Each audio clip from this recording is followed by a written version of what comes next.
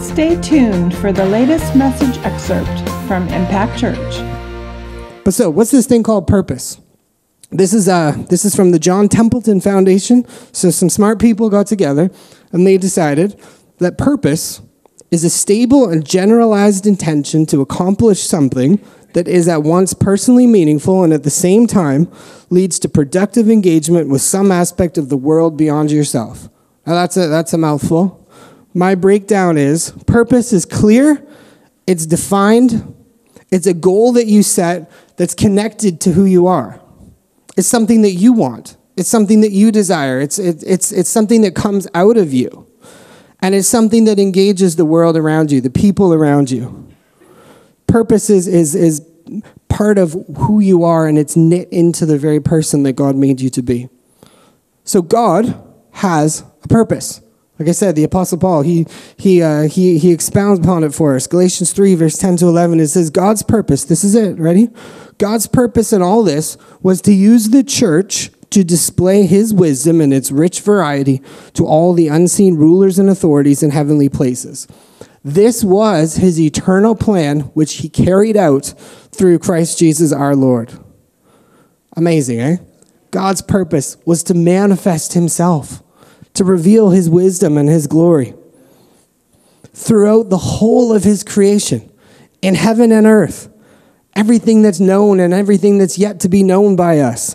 And he wanted to do this through the church, through us.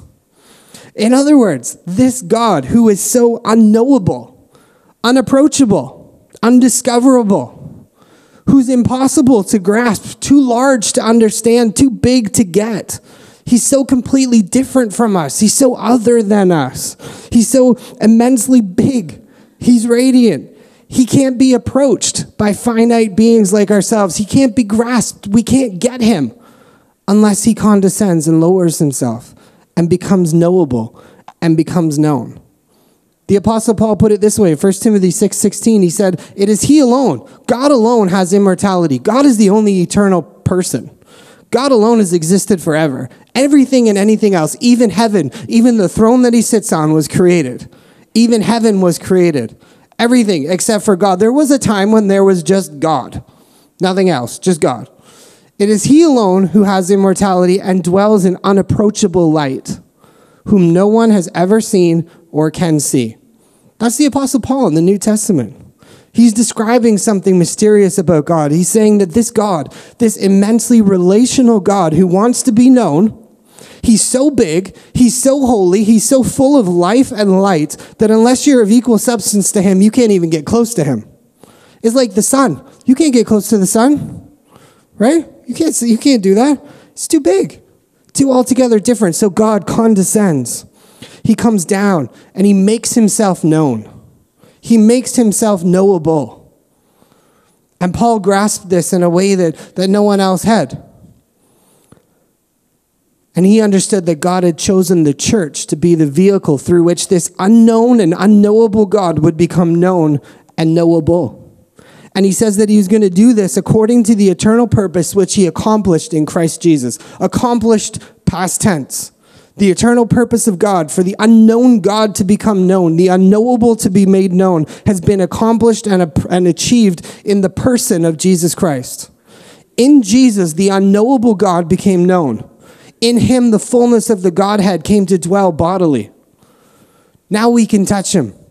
Now we can see him. Now we can feel him. Now we can rub up against him and you can know him. This great, big, mighty God how great is our God, yet he is, he's, he's come down to our level to be with us, to be seen, touched, and felt by us. It's just amazing. It's absolutely amazing. And now it's through the church. Paul said that the church is this, this organism in Ephesians chapter 1, 22 and 23. The church is that vehicle through which the fullness of God dwells, and he's going to fill everything.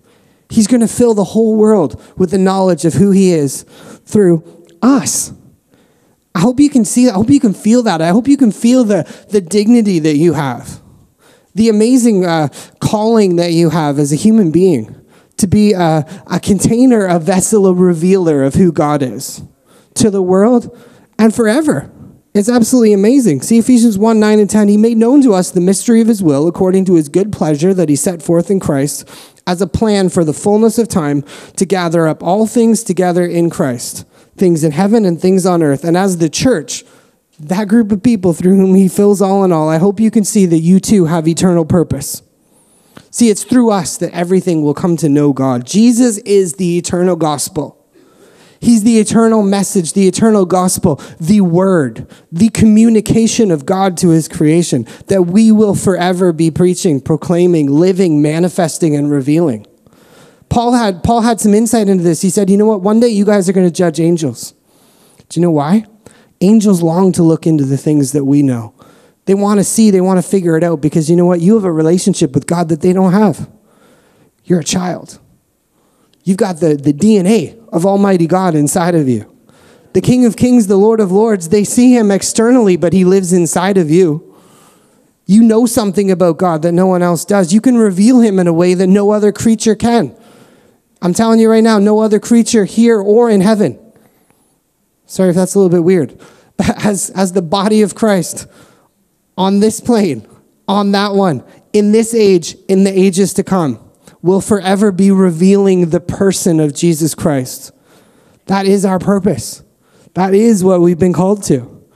It's amazing.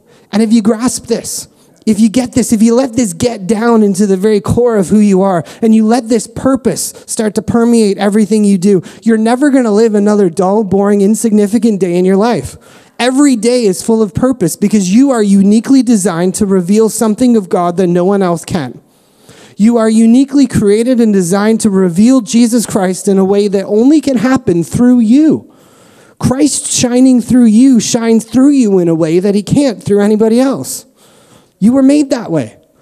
You connect with this purpose. And this is what the apostles and the prophets of old, this is what they did. They took lives of ordinary people and they connected them to the great big thought of God from before he created anything. He connected their lives to infinite purpose and meaning by saying, This is the eternal thought, the eternal purpose of God. See, there's lots of things, lots of causes that we can give ourselves to. There's lots of things that we can get involved with. But you know what? The apostolic and the prophetic ministry, they, they connect you to this purpose. They don't let you settle for something less. They don't let you settle for seeing that you're anything less than purposely, intentionally designed to reveal and carry the very glory of God Himself. Now, when you connect with this purpose, Paul said in Colossians 1, this is one thing he prayed for the Colossians. He said, I pray that you're going to be filled with the knowledge of God's will in all spiritual wisdom and understanding, so that you may live lives worthy of the Lord, fully pleasing Him. Connect to purpose, connect to eternal purpose, and you will bear fruit in every good work and you will grow in the knowledge of God. And when I say grow in the knowledge of God, I think he's thinking about like take your kid to work day. you know, where you bring your kid to work. I've never done it, but you know, I've seen parents do it, and, and kids come away with a whole new appreciation of who mom and dad is, are, whatever. Jesus wants me to learn grammar. Now, this thing, purpose, it's not only good spiritually, but from a secular perspective, people who don't even know Jesus, they've come to understand that, that the need for purpose is one of the defining characteristics of a human being. Humans crave purpose.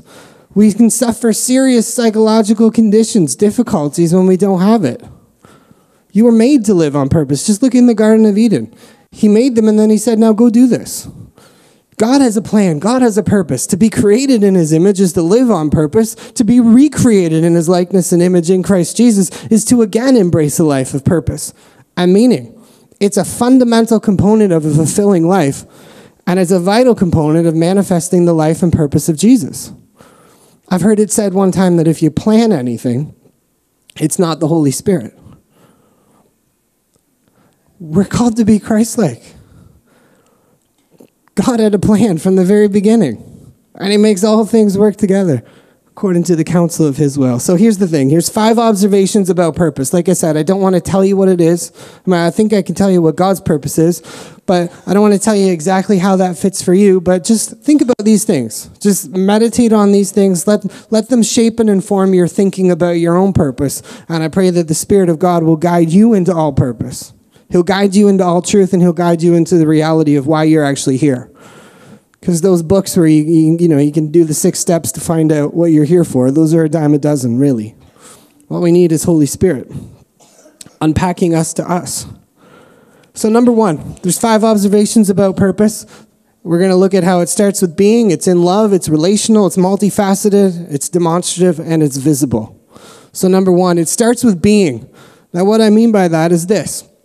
Remember how I said that purpose, for it to be purpose and not just random activity, it has to flow out of who you are. You have to be personally connected to what you're doing. Otherwise, you're not really engaging in purpose. You know, there's an author, her name's totally escaping me right now, but she wrote a book called The Path. And she said, you know what? Everybody's living purpose. You're either living somebody else's or you're living yours. Pretty interesting. But, anyways, starts with being, comes out of who you are. Ephesians 1, verse 3.